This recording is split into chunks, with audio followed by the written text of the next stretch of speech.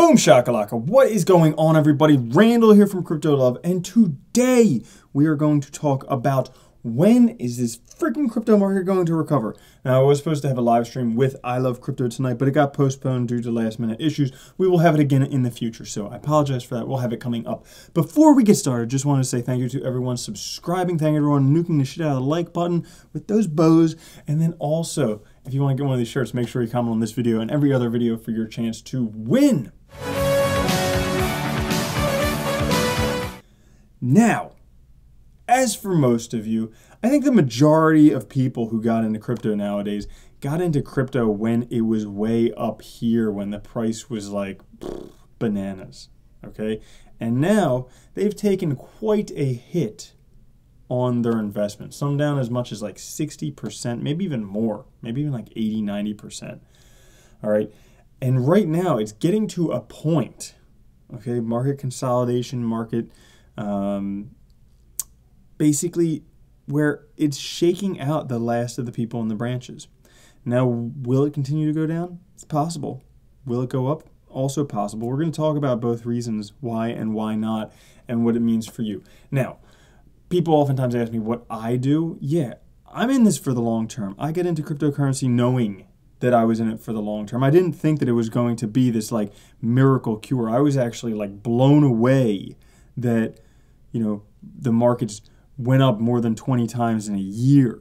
Like I was just shocked how much it went up the first year that I got in. I got in the beginning of 2017. But a lot of people got in towards the end of the 2017 because they were promised this goose with a golden egg and all they got was like fried duck. Okay? So it's not great for them. Now, this looks terrible. This graph behind me looks freaking terrible because you're like, oh, oh, it's all gone. It's going to zero. Yeah, yeah. Well, what you forget is that it costs money to create Bitcoin. Okay, somewhere between two thousand and six thousand dollars to create one Bitcoin, and that two thousand dollars is on the giant mining farms like Genesis Mining, if they can even get it that cheap. While as most of like the hobbyist Bitcoiners, investors, Bitcoin miners, they're looking at like six thousand dollars per Bitcoin. So the price goes below that they're not going to be selling it. A lot less Bitcoin in circulation. Um, simple economics, supply and demand. Well, the supply will drop significantly. So if the demand stays the same, that'll bump the price up. Or, I mean, this the demand could drop because interest could go away. That's what happened in 2014 after Mt. Gox. Interest went away for a while. Bitcoin prices stagnated for a while. Then they shot up. Um, but with the with the supply limited any change in demand is going to definitely increase the price. Now, this graph looks terrible. One thing you can do is you just go to settings here and uh, if you click on settings, you click on scales, you can click on log scale there. And what it'll show you is something like this. Now, over the long term, this ain't half bad, okay? That's not as drastic as what we saw previously. Now, why log scale? Because things grow exponentially, and a log scale just cuts out that exponential factor. This right here is pretty much a straight line of continued growth with a couple little nipples right there. Okay. Now, do I think this is the end of Bitcoin? Personally, no. No. I think it's just like a bear market, and you have to get through a bear market. So you just do whatever you do. You hodl, you blah, blah, blah, blah, blah, blah, blah, blah, blah. And then two, three years, we're all going to be golden. Now, two, three years, you're saying? Well, maybe. Could be sooner. We'll go into my projections as to when it will recover coming up soon. But first, I want to take a look at some reasons why crypto will recover.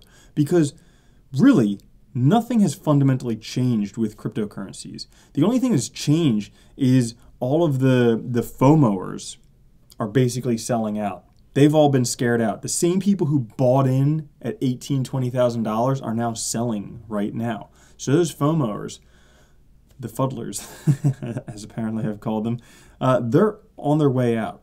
And you know what?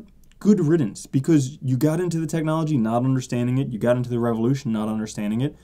Sure, don't reap the profits of the revolution, but for the rest of the people who understand what's going on, how this really is a revolution that's going to change all things, things look good. So let's take a look at some of these things. Well, first off, um, Pantera Capital, Dan Morehead, the CEO, says that um, it's very cheap. Bitcoin's a screaming buy. He says this over and over again. He says when a cryptocurrency breaks through its 200 day moving average, if you buy that day and sell a year later, you make an average of 239% without even thinking about it. Now let's take a look at Bitcoin. Bitcoin has not only broken through its 200 day moving average, it's also broken through its. Oh, wait, that's its 50 day. We'll just adjust that. We'll just adjust that. We'll look at the 200. It's also broken through its 365 day moving average. Look at that. Down below the 200 day moving average. So if you buy now and sell a year later, you'll get 239% gains. What are you going to get from your bank account? Let me ask you that. Hmm? Hmm? Hmm? Hmm? Hmm? Hmm? hmm? Yeah, exactly. So nothing. Okay. Also, in terms of regulation and getting stuff done, I mean, look at this. ICOs have been like the the hot potato that nobody wants to touch, especially in like U.S., China, Singapore, things like that. Well, guess what? Now even ICOs, um, U.S. investors, not accredited investors, but anyone from the U.S. can partake in them with going through this whole process with like Republic, okay, which calls itself the Amazon of private investing. So yeah, more regulation, more people coming on. How about this? Facebook crypto ads no longer off limit. So again, they're allowing crypto ads. And Facebook may acquire Coinbase. Now, Facebook has billions of daily users, billions of people who use Facebook every day.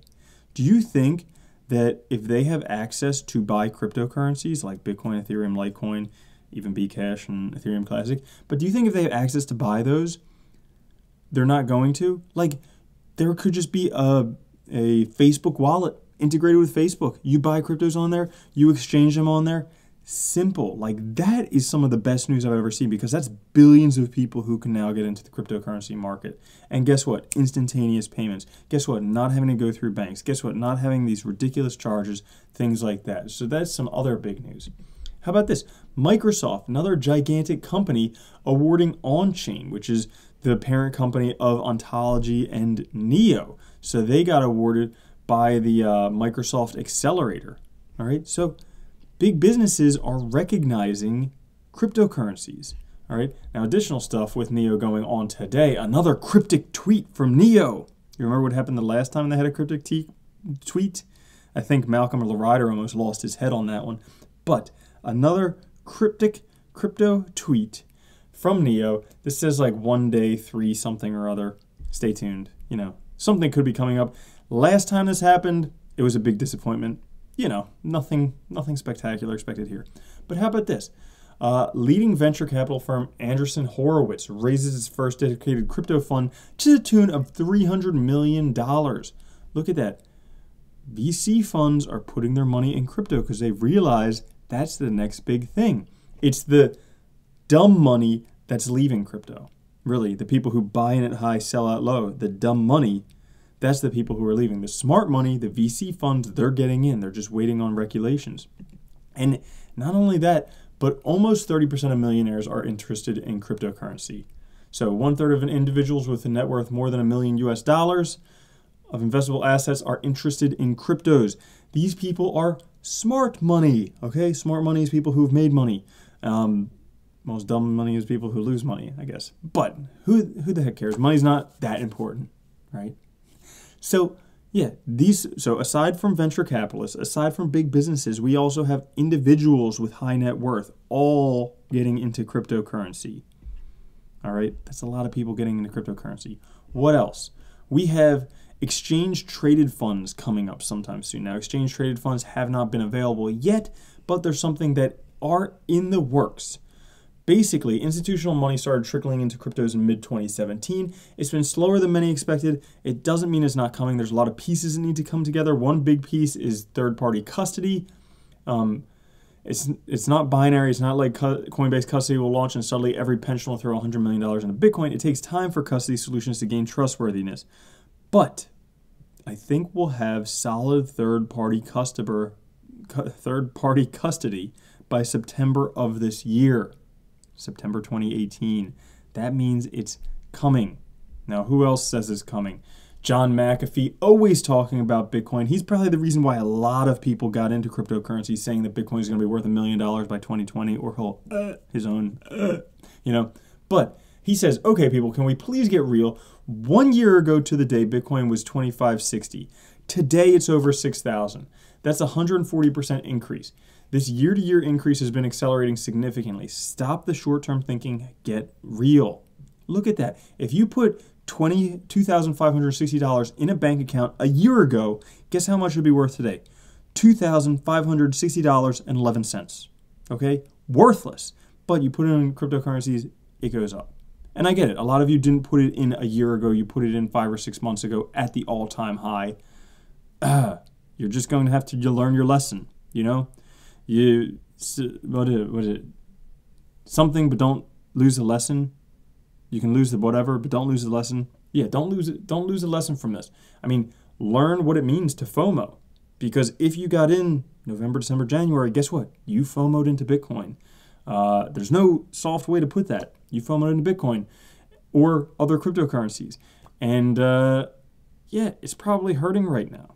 It probably is. Guess what? It's hurting for everyone. I mean, I got into cryptocurrencies back below as $2,000 a Bitcoin, and it still hurts to see this because I know if I would have sold at the top, would have been better off. But guess what? I believe in the technology long term. I'm not here to sell my way out of the market. And sure, you can get into and out of positions, but you know, different strokes for different folks. I'm not about doing that. I'm about accumulating as much Bitcoin and cryptocurrencies as I can by the time this revolution takes over. And lastly, we have Charles Hoskinson, who says, What's often missed by the cryptocurrency is going to die broken record media. That's a, that's a long phrase. The cryptocurrency is going to die broken record media. Is that after the next wave of regulation, Wall Street is showing up to the party with all their locked up capital. That's tens of trillions of dollars entering the space eventually. Future is bright. And he's right. There's a lot of money coming into crypto. Yes, it's not happening right now. We got so used to um, every day having prices shoot up 10%, 20% during the, the altcoin bubble of December, January, that now when things are going down, when the market is trying to find a firm foundation to build itself on, people are losing their shit. There's no reason for it. Okay? There's a lot of good things coming into cryptocurrency, a lot of future, but you know, not financial advice, not telling you what to do. If you think sell, sell, you know, go for it. Now, a lot of you waited a long time to figure out when Bitcoin's going to recover. I did a video a while back, BTC When Moon, where I scientifically compiled data, okay, looking at coin market cap every month, which months had price spikes, and June. So I looked at the past like three or four years. June, three out of the four years had a price spike. So I thought potentially June we would see something. June is over. We didn't see it. I was wrong. Okay. Other months, November and December, also big chances for gains. All right. Now, there's also some other months. July and September have a chance as well. And we saw mentioned here exchange exchange traded fund September of this year. Possibly we might see something September. All right. There's also people talking about a long bear market. People talking about a bear market for a year, two years, something like that. So there's the possibility of that. Does that phase me? No. I continue to make money and put it into cryptocurrency because I believe in it in the long term. I believe that this is the financial revolution of our time because Bitcoin and cryptocurrencies are doing for money what the internet did for communication, which is making it open to anyone, easily accessible to anyone. And I think that we are still getting in at somewhat of the ground floor. Very maybe not maybe not the fir- the ground level, but the first floor or the second floor, something like that. Well before uh, before floor 10 or 100 or whatever. So I think we're still getting in early. I'm still optimistic about it. Obviously, do your own research, come to your own conclusions, but this is what I think about it. And I want to bring that to you guys because I know there's a lot of fuddlers out there just, uh, you know, just hating things right now. And basically, every video I make, people are like, oh my God, it's going to die. Bitcoin's going zero. Blah, blah, blah. It's not. It can't. Bitcoin can't go to zero. It's it's next to impossible. It's an open source protocol. Guess what? Bitcoin price was established the day that some dude paid 10,000 Bitcoin for two pizzas. Ever since then, Bitcoin price has gone up. And I don't think it can ever come to a day where Bitcoin will be worth zero because it is an open source protocol. Anybody who wants to can use it. Okay? Same thing as the internet can't be shut down. You can't shut down Bitcoin. So there, suck it. Okay? Now, for all you guys who watched to the end, thank you so much for watching. Subscribe, like the video, and also, if you want to win the shirt, make sure you comment on this video. Let me know what you think. Is it going to zero? I'm sure you're all going to write it's going to zero. You're retarded, blah, blah, blah. Okay, cool. Love you guys. Have a good one. All right? Peace.